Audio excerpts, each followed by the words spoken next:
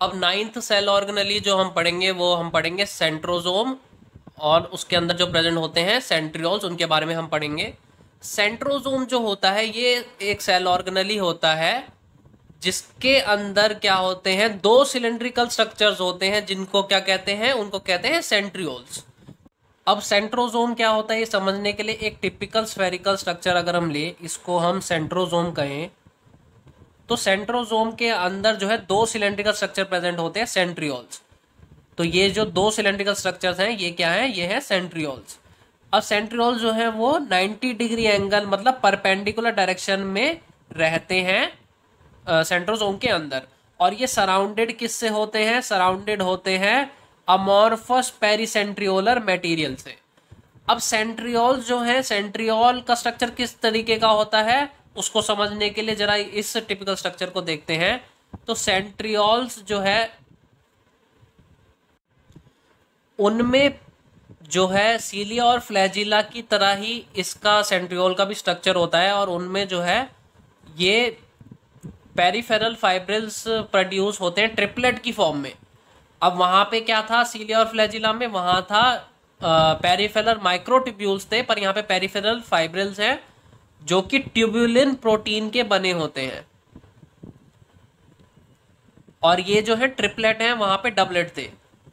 तो ये जो है ट्रिपलेट होते हैं पेरीफेरल फाइब्रल जो कि सेम नौ, जो है नौ पेरीफेरल फाइब्रल्स यहाँ पे प्रेजेंट होते हैं। ये आप देख सकते हैं, एक, दो, तीन, चार, पाँच छः सात, आठ, नौ। तो नौ पेरीफेरल फाइब्रल्स यहाँ पे प्रेजेंट होते हैं। और ये जो सेंटर पार्ट है आपके सेंट्रियोल्स का, ये भी प्रोटीन से मिलकर बना होता है, जिसको कहते हैं हब और ये जो पेरिफेरल फाइब्रिल्स थे ट्यूबलिन प्रोटीन के जो बने हुए हैं, ये नौ होते हैं. सेम जैसे सीलिया फ्लैजिला में नौ थे तो पर वो जो थे डबलेट थे, यहाँ पे जो है ट्रिपलेट होते हैं. और ये जो ट्रिपलेट है पेरिफेरल फाइब्रल्स जो कि नौ है नंबर में, ये एक दूसरे के साथ लिंक्ड होते हैं, जैसा सेम जैसा आपके सीलिया और फ्लैजिला में था तो ये भी वैसे ही लिंक्ड होते हैं एक दूसरे के साथ। अब सीलिया और फ्लैजिला में क्या था? सेंटर पार्ट में दो सेंट्रल माइक्रोटिब्यूल्स और प्रेजेंट थे, पर यहाँ पे जो है सेंटर पे कुछ ऐसा पेरिफेरल फाइब्रल्स या जो है टिब्यूल प्रेजेंट नहीं होते हैं। तो इस जो है स्ट्रक्चर को क्या सिस्टम को क्या कहा जाता है? इस स्ट्रक्चर को क्या कहा जाता है? इस स्ट्रक्चर ऑफ़ अरेंजमेंट को क्या कहा जाता है बेसिकली इसको कहा जाता है नाइन प्लस ज़ीरो अरेंजमेंट। तो ये क्वेश्चन भी बहुत आता है कि नाइन प्लस ज़ीरो अरेंजमेंट किसमें प्रेजेंट है? वो प्रेजेंट है सेंट्रियोल्स के अंदर। और नाइन प्लस टू किसमें प्रेजेंट है? नाइन प्लस टू सीलिया और फ्लैजिला में प्रेजेंट होता है। जो सेंटर पार्ट है सेंट्रियोल्स का, जिसको हब कहते हैं, ये कनेक्ट होता है ट्रिपलेट्स के साथ, trip peri, triplet peripheral fibrils के साथ with the help of radial spoke same जैसे आपके सीलिया और फ्लैजिला में होता है, वैसे ही यहाँ पे भी रेडियल स्पोक प्रेजेंट होता है, जो इनको कनेक्ट करके रखता है इनके सेंटर पार्ट से, जिसको हब कहते हैं। और ये जो है रेडियल स्पोक हो गया, और ये जो है, ये भी प्रोटीन का बना होता है। और सेंट्रियोल जो है, वो किसमें हेल्प करते हैं? वो बेसल बॉडी बनाने में हेल्प करते हैं। और बेसल बॉडी क्या थी? बेसल बॉडी हेल्प करती है किसके फॉर्मेशन में? सीलिया और फ्लैजिला के। और सेंट्रियोल जो है वो स्पिंडल फाइबर्स बनाने में भी हेल्प करता है। स्पिंडल फाइबर्स जो है वो फिर स्पिंडल एपरेटस बनाता है, जो कि हेल्प करता है सेल डिवीज़न में इन एनिमल सेल्स।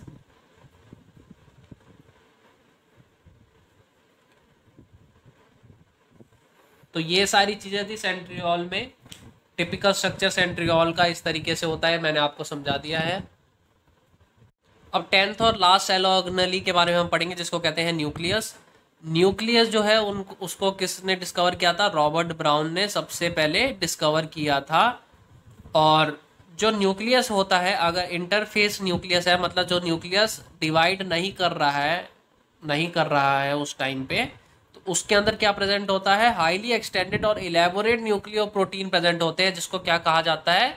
जिसको कहा जाता है क्रोमेटिन ये ये जो है, ये क्रोमेटिन उसमें प्रेजेंट होते हैं और जो है स्फेरिकल बॉडी भी एक टाइप की प्रेजेंट होती है, जिसको कहा जाता है न्यूक्लियोलस या न्यूक्लियोलाई इसको न्यू जो है न्यूक्लियोलाई कहा जाता है। और इसके अंदर जो मैट्रिक्स प्रेजेंट होता है, उसको न्यूक्लियर मैट्रिक्स कहा जाता है।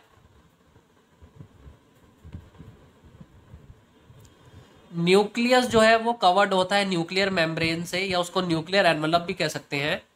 अब न्यूक्लियर एनवलप या न्यूक्लियर मेम्ब्रेन और न्यूक्लियस के जो इनर मेम्ब्रेन है, इसके बीच में जो ये स्पेस बन जाता है, इसको कहा जाता है पेरी न्यूक्लियर स्पेस क्या कहा जाता है? पेरी न्यूक्लियर स्पेस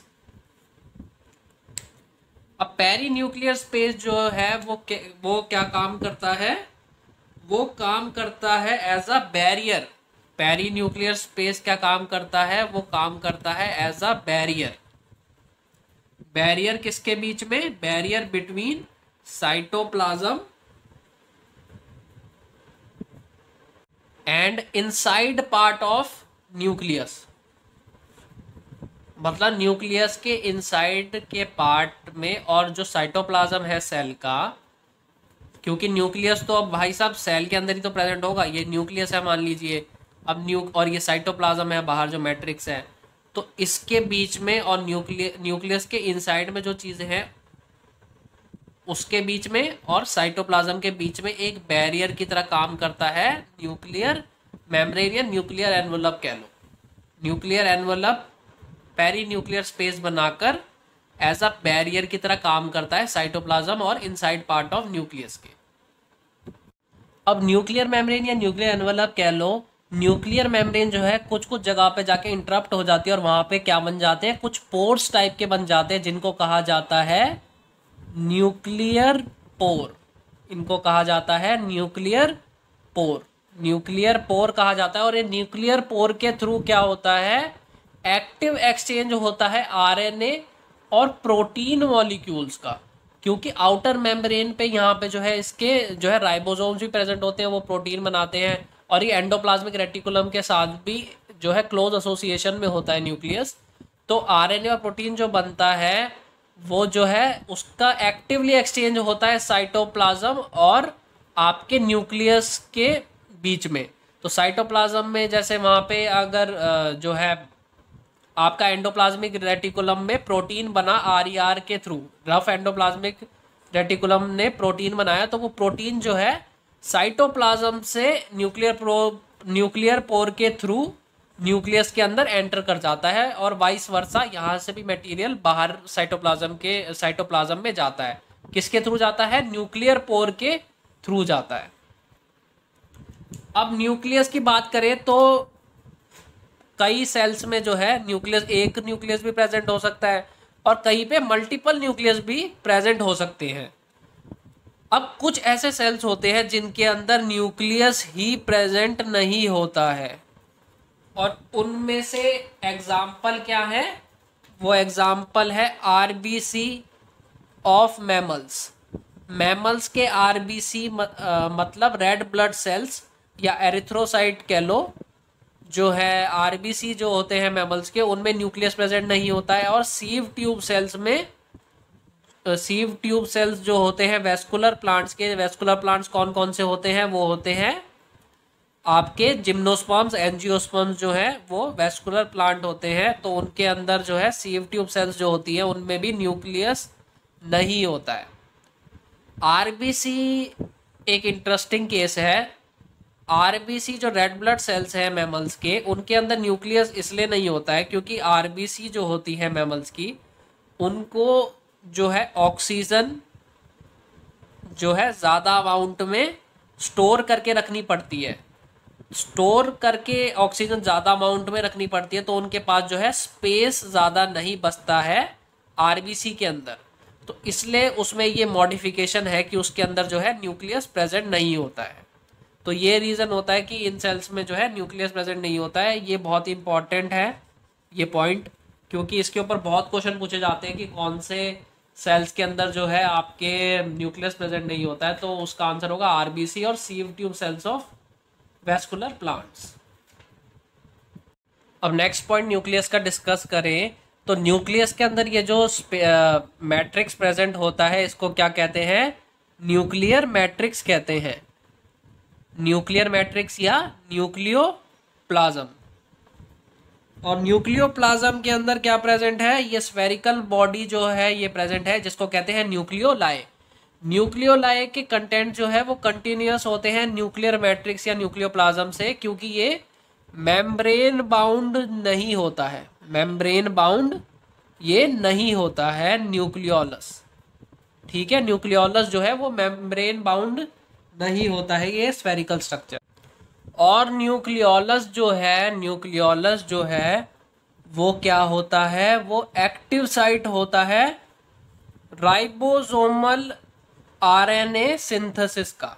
मतलब आरएनए सिंथेसिस ये करता है और जो भी सेल्स जो है, जो एक्टिवली प्रोटीन सिंथेसिस करते हैं, उनके अंदर न्यूक्लियोलस जो है वो वन या वन से ज़्यादा न्यूक्लियोलस उसके न्यूक्लियस के, उन सेल्स के न्यूक्लियस के अंदर प्रेजेंट हो सकते हैं।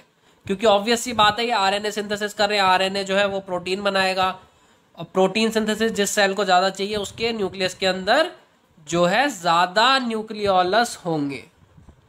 मोर न्यूक्लियोलस होंगे। अभी प्रीवियसली मैंने आपको पढ़ाया था कि न्यूक्लियस के अंदर हाईली इलोंगेटेड फाइबर्स ये प्रेजेंट होते हैं, जिनको क्या कहा जाता है? जिनको कहा जाता है क्रोमैटिन क्रोमैटिन जो होते हैं, वो कंडेंस्ड फाइबर्स होते हैं। कंडेंस्ड फाइबर्स होते हैं, जिनके अंदर क्या प्रेजेंट होता है? डीएनए प्रेजेंट होता है। न्यूक्लियस के अंदर क्रोमेटिन प्रेजेंट होता है और क्रोमेटिन के अंदर क्या प्रेजेंट होता है? डीएनए डीएनए जैसा आपको पता है कि जेनेटिक मटेरियल होता है डीएनए जो है डबल हेलिकल स्ट्रक्चर होता है और काफ़ी इलोंगेटेड स्ट्रक्चर होता है। तो ये जो है एक कंडेंस्ड फॉर्म में रहता है। जिस कंडेंस्ड फॉर्म को क्या कहते हैं?